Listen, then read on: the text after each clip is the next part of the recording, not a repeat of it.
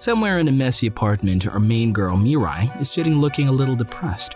Just then, Mirai's phone rings and a woman named Izumi Nase calls her to her mansion. There, Izumi introduces Mirai as a spirit hunter and the successor to some cursed bloodline. Apparently, Mirai can forge weapons out of her blood and use them as a lethal poison. She demonstrates it by removing her ring and using the blood. Izumi gives Mirai a target to assassinate, an immortal half-spirit who's terrifyingly fast to recover from any injury. Hence, he has the name Akihito, the immortal half-shade. Izumi reveals that Akihito is half human and half shade from some place called Beyond the Horizon. He's so powerful that he nearly killed Izumi's brother, another shade hunter, during a fight. Elsewhere, Akihito, the immortal half-shade, sees Mirai on a rooftop. It looks like she's about to jump and take a shortcut, from the roof straight to the afterlife. Akihito runs to Mirai. Our boy is actually a huge glasses simp and thinks Mirai looks good in them, hence she must not die. Yes, that's his reason for saving her. The dude actually gives a heartfelt speech as if he's asking for world peace. To his shock, Mirai jumps back and stabs Akihito, and I thought the worst your crush could do is say no. But Akihito just smiles and politely asks her to remove her sword. This is going to be a long story of chasing and stabbing and them destroying properties and their stupidity. So they make an agreement. Mirai won't attack him if Akihito feeds her dinner. And I thought only Tinder dates tricked you into buying them dinner. No? Just me? Okay. Anyways, in a restaurant, they argue about him feeling pain when she stabs him all the time, and how it is not fair and flat out calls it discrimination against immortals. So Mirai orders more food because he's being unpleasant. Hashtag couple goals. Later that night, Mirai becomes anemic because she's used up a lot of her blood, which is troubling to Akihito. He tends to her wounds even when she warns him not to touch her blood at the moment. While tending, Akihito suggests Mirai to join the literary club because he wants someone with glasses in his club. The other members of the literary club are also shade hunters, so Mirai will be comfortable there. But she declines as she does not want to associate with other people and then she faints. The next morning, Izumi discusses Mirai's progress and ways she can kill Akihito and also suggests she keep her distance. Later, Mirai has a flashback where she and Akihito discuss how she's scared to take lives and wants to quit, but her cursed bloodline and powers refrain her from doing so. Akihito empathizes with her. Elsewhere, an investigator from the Spirit Hunter Association's Observation Bureau wait, that's really the name? They might as well add some words, jeez. Anyway, an investigator from this place named Miroku meets Izumi to investigate the Hollow Shadows, which are masses of human resentment, pain, and negativity. The most powerful one is called the Beyond the Boundary, and it is actually Mirai's mission to kill the Beyond the Boundary. Later, Mirai and Akihito go to a forest to hunt down one such hollow shade. Mirai asks Akihito whether she looks normal to him, to which his replies like before, because glasses. Suddenly, a hollow shadow stabs Akihito from behind and takes over his body. So Akihito asks Mirai to stab him. Mirai hesitates as it might kill him, but Akihito argues that he's immortal. With much encouragement from Akihito, Mirai stabs him and releases her blood, forcing the hollow shadow out of his body. Mirai kills the shadow and goes towards the injured Akihito, but she's stopped by other shade hunters, the members of the literary club and Akihito's friends. One of them is Izumi's brother, Hiromi Nase. Hirumi says that Akihito's body is too weak right now, so his shade half will take control now. Akihito's shade half is actually super powerful, and despite the combined efforts of all the shade hunters, he still manages to defeat them. Mirai, however, hugs him and holds him down until he comes back to his senses. Akihito wakes up and becomes guilty of hurting his friends again.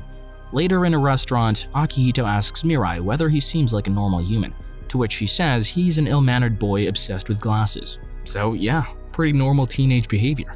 During a lantern festival, Mirai tells Izumi while staying true to her duty of defeating shades, she has decided to not kill Akihito.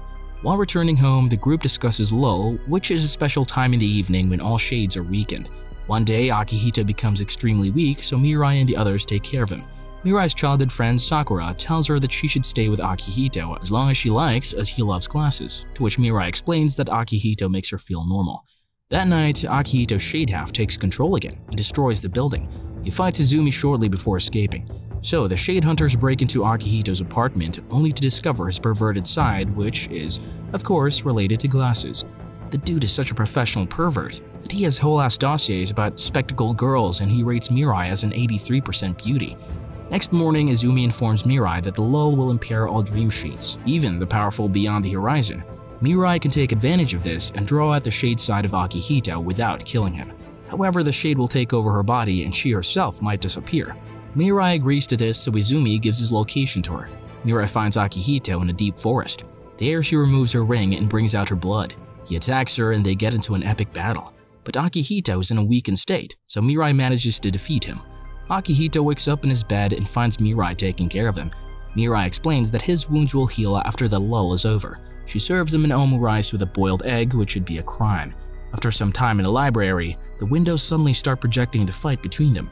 Mirai explains that her main objective was to kill the Dream Shade from beyond the horizon, but it turned out to be the Shade within him. So when she found out her blood could draw the Shade out of him during the lull, she took her chance and disappeared. Right now, he's still unconscious, and the Mirai sitting in front of him is a dream, caused by a little ounce of her blood left inside him. She tiptoes her feet and gently kisses him, bidding him a difficult farewell. Akihito rushes to hug her, but she disappears. Akihito wakes up in a hospital bed and learns that he has been in a coma for three months, that Mirai is really gone. Meanwhile, Mirai is in the world beyond boundary and wearing black spectacle glasses instead of her normal red ones. Here, Akihito is mindless and does not respond to her. She's also busy fighting shades. In the current world, Akihito learns that he no longer has a shade inside him. Akihito blames Izumi for leading Mirai to take the sacrifice. But she explains that as a member of the Nase family, it's her duty to keep everyone safe. And as for Mirai, she did this to protect someone she cherished, and her actions probably saved the world from the shade beyond the boundary. Izumi tells Akihito that Mirai knew he would be upset with her after he woke up, and her last words were, serves him right. Later that night, Sakura furiously asks him about Mirai's whereabouts, to which he turns his back, so he gets served with a nice little dropkick. While going through his phone, he finds he has text messages from Mirai before she disappeared. While we see Mirai beyond the horizon fighting shades, Akihito reads her text about how she's happy to have met him, and how glad she is that she stuck around up to see the day when she saves his life. She no longer believes that her powers are a curse, but actually a gift to protect people. She wishes him a normal life and a normal death someday. Meanwhile, Mirai is trying her best to protect the mindless Akihito. In the current reality, the guys see a strange object in the sky, which is sucking the dream shades into it. They head towards the literature club room where they meet Yayoi, Akihito's mother. Yayoi reveals that Mirai is alive and fighting all the dream shades alone beyond the horizon.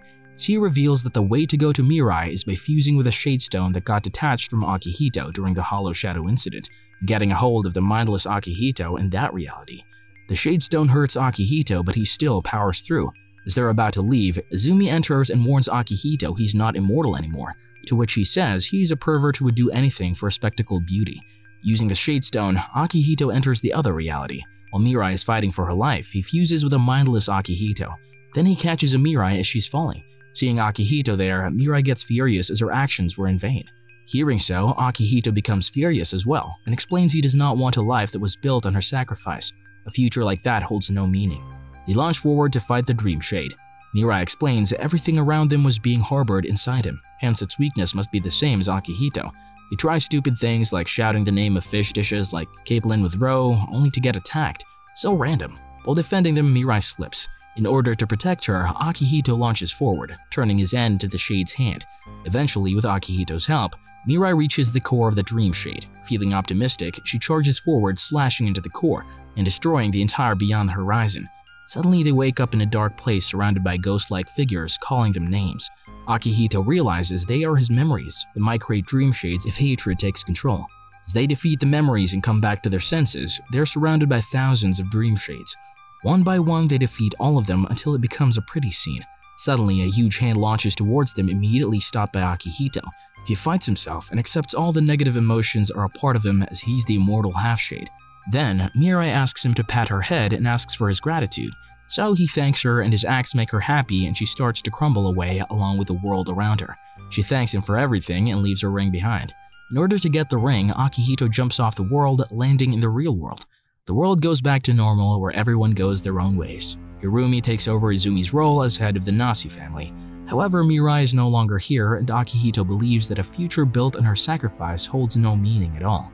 Here, the story comes back full circle, as the ring in Akihito's hand disappears and he runs to the roof. Mirai is right there, waiting for him. So he confesses his love for the spectacled beauty and gives her red glasses to wear. She wears it and smiles at him. But in the post-credits scene, Mirai sees all her memories but they all start fading away.